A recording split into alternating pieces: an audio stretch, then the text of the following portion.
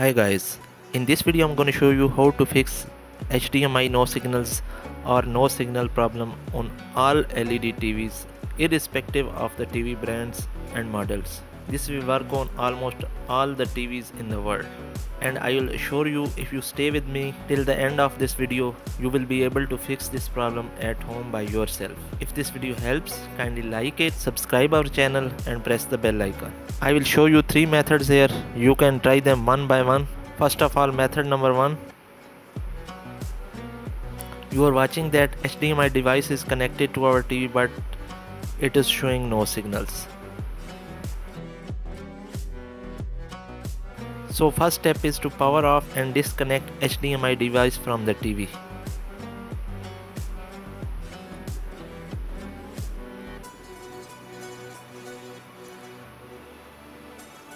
Next you have to unplug the HDMI cable from the TV side.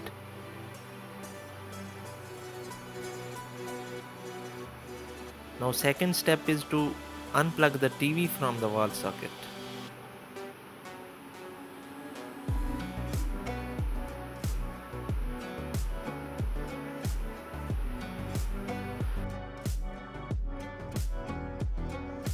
Look for the power button on the TV. It may be on the front, sides or under the TV, depends upon the TV model. Now you have to press and hold the power button on the TV for 20 seconds. Don't release it before 20 seconds.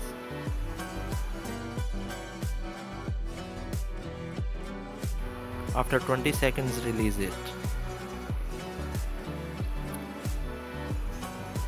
Now connect the HDMI device plug back the TV and HDMI device and power on both. You are watching HDMI no signal problem has been fixed. If viewers unfortunately this method doesn't work then the second method is to factory reset your TV.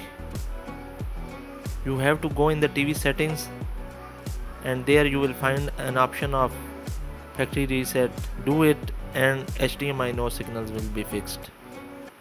If previous both method doesn't work, then you can move on to third method which is to open the back cover of your TV and look for the main board.